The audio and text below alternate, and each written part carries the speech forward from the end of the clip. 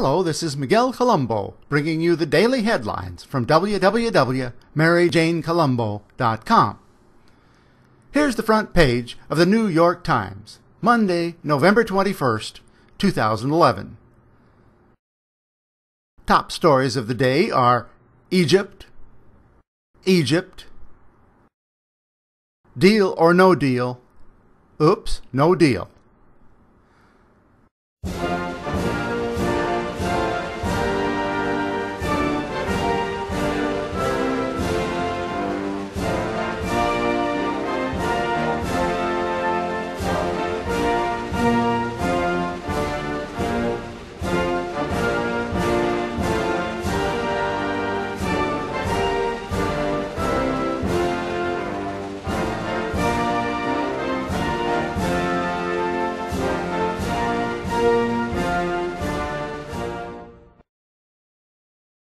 Now we come to first class airfare and what it buys you a bed.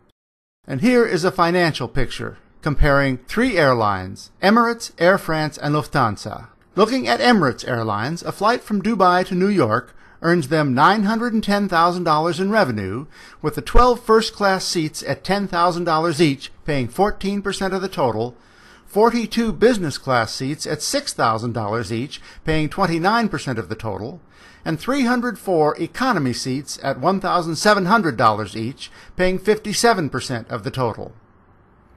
I don't think this family will be going anytime soon.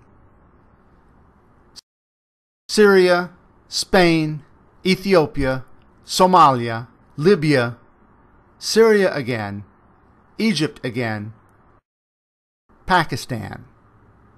Okay, finally on page 11, the Times is burying the Occupy crackdown and its fallout deeper every day.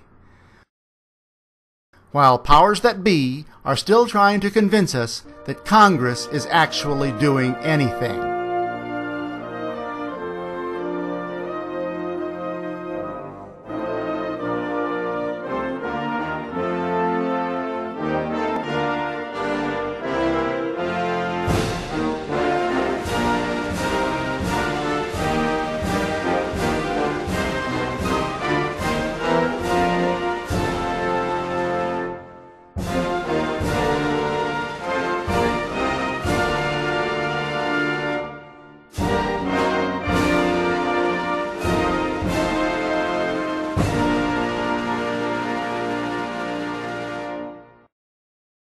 This is Miguel Colombo signing off from www.maryjanecolombo.com.